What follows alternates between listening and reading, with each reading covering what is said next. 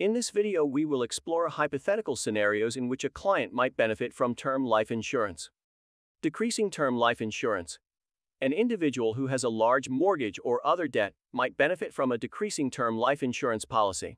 As the debt is paid off over time, the policy's death benefit decreases, which can help reduce the cost of coverage.